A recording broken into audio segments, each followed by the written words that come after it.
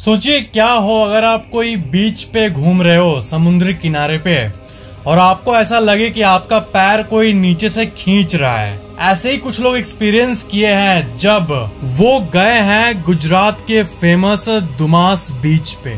कुछ लोग इन सब बातों पे मज़ाक उड़ाते हैं, मगर जिन लोगों ने उस बीच पे पैरानॉर्मल एक्टिविटीज़ को महसूस किया है, उनके तो इस बीच के नाम से ही पसीने छूट जाते हैं। आज आप इंडिया के थर्ड सबसे हॉन्टेड प्लेस के बारे में जानने वाले हो। ये सुन के आपके मन में ऑफकोर्स आ रहा होगा कि फ़र्स्ट सेकंड कौन सा है? तो पहला है राजस्थान का भांगर फोर्ट सेकंड में है राजस्थान का कुलधारा और थर्ड में है ये दुमास बीच जहाँ पे लोगों ने कई आत्माओं का प्रेजेंस फील किया है। दुमास बीच जो कि गुजरात राज्य के सूरत से लगभग 21 किलोमीटर दक्षिण पश्चिम में सागर के किनारे मौजूद है। ये दिखने में बहुत खूबसूरत है और इसका खूबसूरती बहुत फ़ेमस है। और बहुत लोग इसका तारीफ़ भी करते हैं और बहुत लोग इसके नाम से ही डरते हैं। इस बीच का पूरा हिस्ट्री तो क्लियर नहीं है बट ये तो पक्का है कि अभी के टाइम पे बहुत लोग वहाँ पैरानॉर्मल चीज़ों को अनुभव किए हैं। वो कहते हैं कि रात को वहाँ जाने पे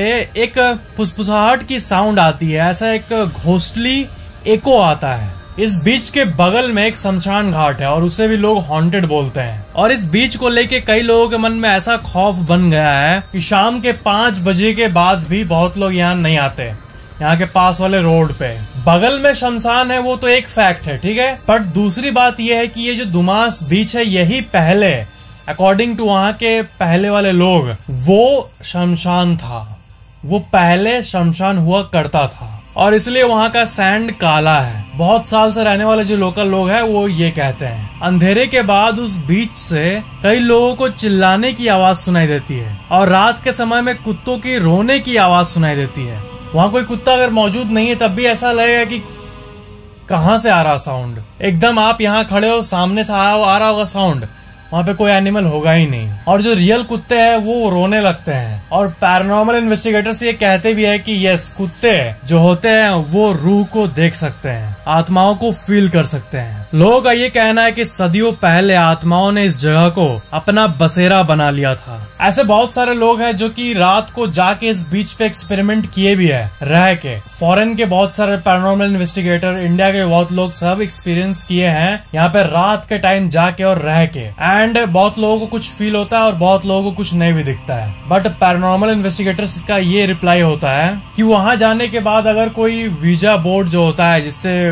लोग होस्ट को कांटेक्ट करते हैं। उसका यूज़ करे या फिर कोई रिचुअल करे, तभी वो एक्चुअल में सामने आते हैं। बाकी बस प्रेजेंस ही फील होता है। और साल के कुछ स्पेसिफिक टाइम में ये सबसे ज़्यादा एक्टिव रहते हैं। According to some paranormal investigators but आप हमेशा नोटिस किए होंगे, जिस जगह का पास्ट काला होता है, वही जगह पे अभी के टाइम कुछ अजीब हो रहा होता है। किसी जगह पे अगर आपको खराब एनर्जी फील होता है तो आप उस जगह का पास्ट को जान के ये पता कर सकते हो कि यहाँ जो आज है वो क्यों है। तो उस जगह का पास्ट जो है शमशान वाला पास्ट और बगल में शमशान होने का प्रेजेंट और भी कई फैक्टर्स है ये सब मिला के इस बीच को हॉन्टेड बनाती है। अकॉर्डिंग टू लोकल पीपल ये पूरे इंडिया में ही नहीं बल्कि वर्ल्ड में भी फ़ेमस है एक हॉन्टेड टूरिस्ट स्पॉट की तरह। सो so, ये था दुमास बीच के बारे में कुछ mysterious facts video like share comment ज़रूर करना और चैनल को सब्सक्राइब करके बेल आइकन ज़रूर ऑन कर लेना।